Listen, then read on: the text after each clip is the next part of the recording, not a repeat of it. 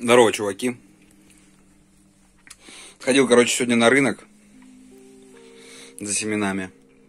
Прикупил семян на летние развлечения, на летние посадки. Так что сейчас хотел показать, что приобрел вообще, собственно. Щавель, но это мать попросила, это типа не мое.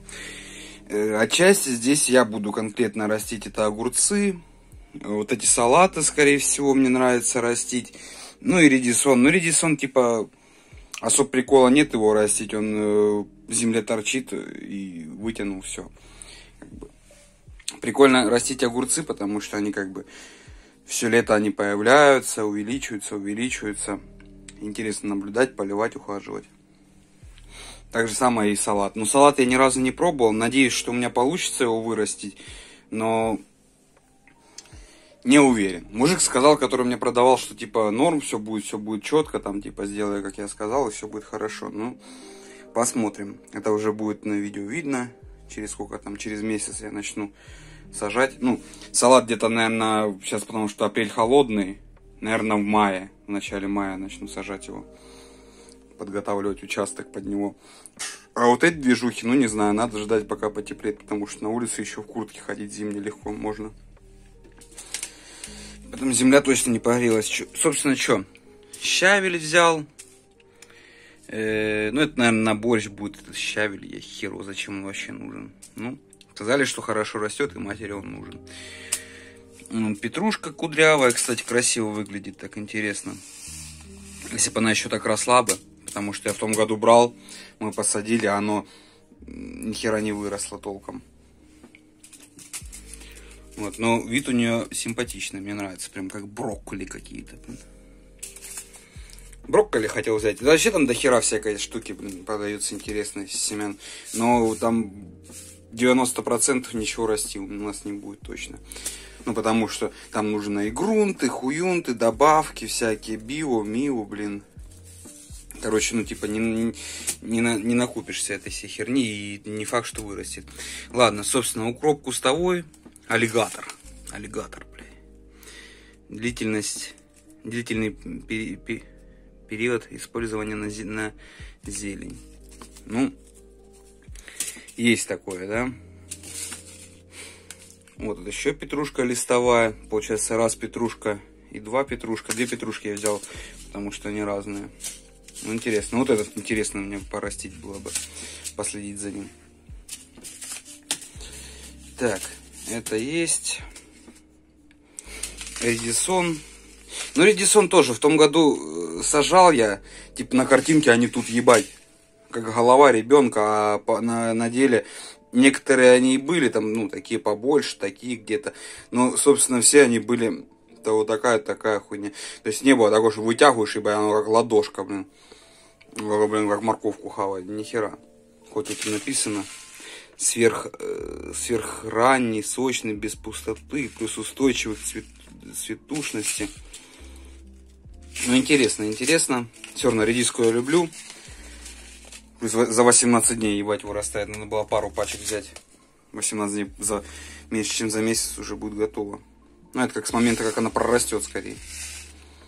Редис красный с белым кончиком. Белая, сочная, мягкая мякоть без пустот, естественно. А то, блядь, люди нахуй с пустотами любят покупать. Редис Сора. Сорт из Голландии. Она меня спрашивала, кстати, типа, какой он там, голландский, не голландский. Я говорю, разный давайте. Жара и холодостойкий. Плюс небольшая ботва, плюс сочная мякоть без пустот. Кстати, надо сажать. Я помню, что э, когда-то на Красную Горку. То есть это Пасха у нас будет 2 мая. Через неделю, получается, Красная Горка. Чтобы мы уже редиску хавали с огород. Так что, ну, наверное, нужно через недельку, полторы там начать высаживать ее.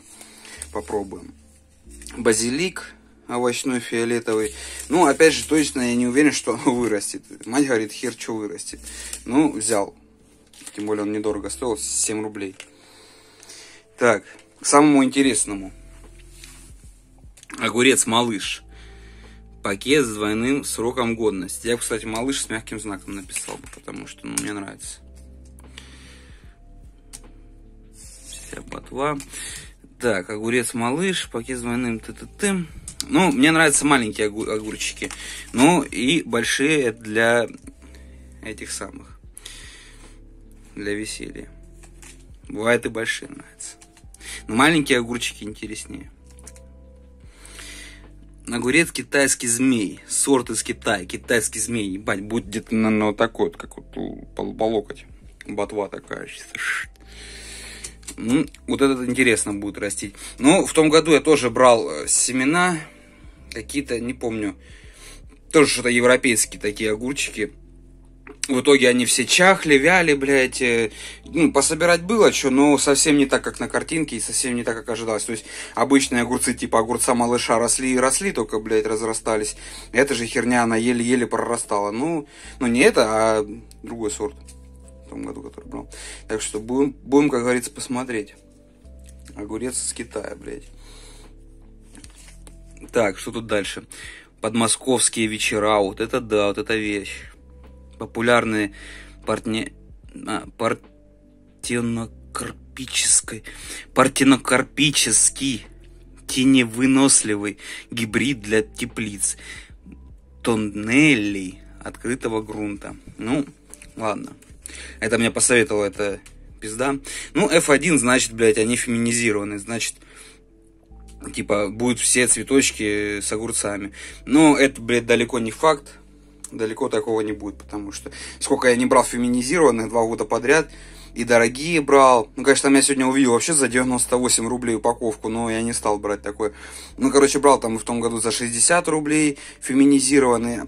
Вот, кстати, вот эти, которые чахли и ни хера не выросли, они были феминизированы, плюс сто... стоимость была как 6 пачек малыша. Вот, ну, будем смотреть китайские многодетные F1. Вот это интересно, то, что они типа будут так много гроздями вести, как виноград. Ну, по крайней мере, на картинке так. Жара и холодостой, холодоустойчивый, плюс до 250 зеленцов за сезон, плюс лучше для засолки и консервирования. Гибрид из Китая. Гибрид из Китая, это интересно. У меня сейчас перервется запись, э, потому что снимаю 4К. 8 минут уже отснял, а сейчас надо будет оно включить. Так что дальше переходим мы. Вот это интересно. Я выберу потом фаворитов, которые мне будут интересны в расчете. Я буду, буду выбирать самые лучшие места для него. Короче, самые лучшие места буду выбирать под фаворитов. Сейчас мы определимся, досмотрим. Огурцы, ребятки, с грядки F1.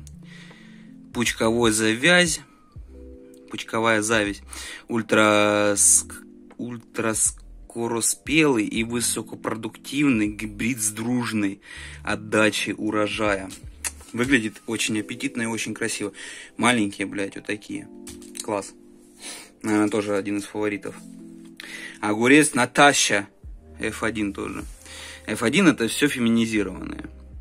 Засолочный, плюс урожайный, плюс устойчивый к болезням. Это хорошо, но он особо не впечатляет. Я взял его чисто для матери. Ну, Типа говорю, а есть какие-нибудь там на просто закрывашку, блядь, никчемные. Тут эти, говорит, возьмите хорошие. Или вот, или вот это тоже на совет. Кстати, тоже вот эта упаковочка что-то в районе 50 рублей стоит. F1 пассажок. На пассажок, короче, для открытого грунта урожай до холодов. Это, то есть до октября можно будет еще собирать в два раза больше семян, в три раза больше урожая. Один плюс один равно три. Я не знаю, что это за реклама такая. Огурцы, серия лидер. Огурец, серия лидер. Ну, вот эта пачка прикольная. То есть, вот это вот самое из дешевых. Там, типа, 15 рублей. Вот это уже по, пол, по полтишку. Парижский корнишон. Огурец. Пакет с двойным сроком годности. Кстати, в магазине то ли еще рано, то ли что-то бабки перевелись, блин. В том году столько бабок в магазине было, где я покупал сегодня семена. Сегодня же, ну, типа, были тоже, как бы, очередь я стоял минут, минут пять, но Тогда было, блядь, там буквально в, в две шеренги, блин, по 20 человек стояло. Сегодня же там человек 10, наверное, было. Салат листовой. А, кстати, огурцы что, закончили, да, получается, мы с огурцами? Ну, малыша интересно. Вот это интересно. Подмосковские вечера. Но это просто подороже, блин, типа тоже вроде как интересно, но вот это больше. Парижский корнишон, вот. Пассажок это. Но это не маленькие огурцы. Это не маленькие огурцы, так что, короче, смотри. Корнишон парижский. Ребятки с грядки. Китайский многодетный. Китайский многодетный. Вот этот змей. Я даже знаю, где его посажу. Ну и огурец малыш. Ну, он тоже потому, что, ну, типа, наверное, как корнишон. Ну, разберемся.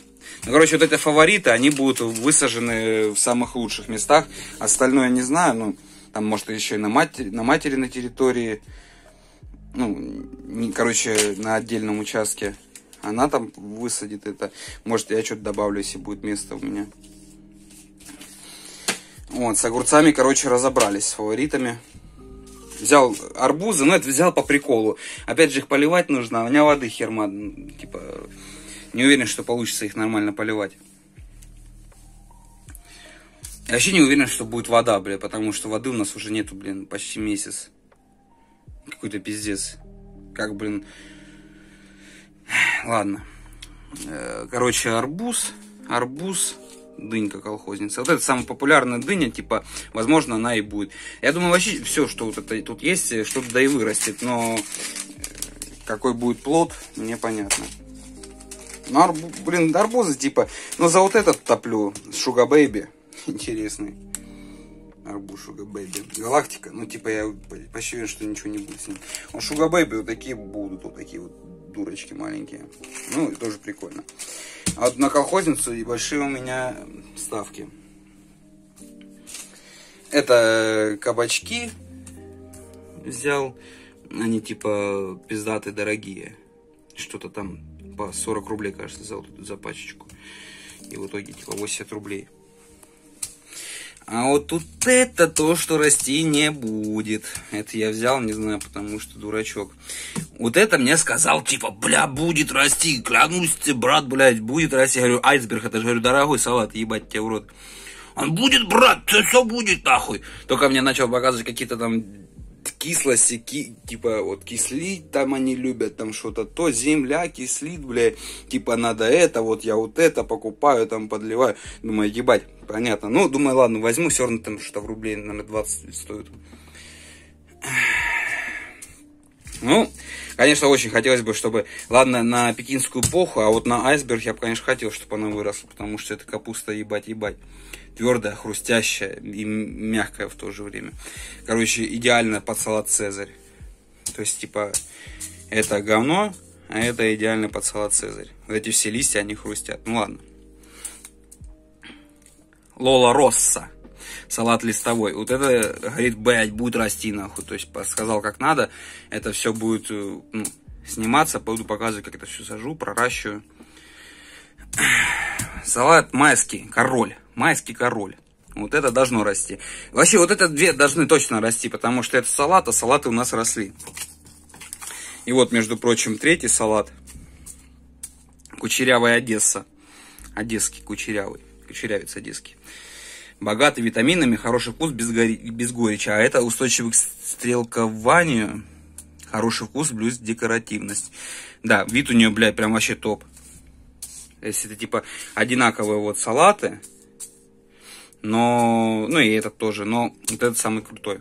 Будут тоже у себя растить. У меня будет еще черри, помидорки, но это мы будем покупать отдельно уже рассады. Так что будет очень красиво. У меня, надеюсь, в этом году огородец. Если, блин, даст бог, будет вода, то будет прям красивый контент сниматься.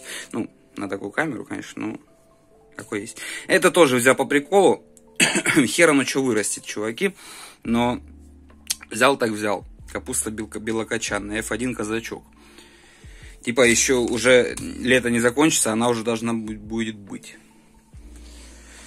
Вот, так что такие сегодня покупочки. Вся эта штука мне обошлась что-то в районе 500 рублей. Еще нужно картошки взять пол ведра, хочу посадить тоже попробовать.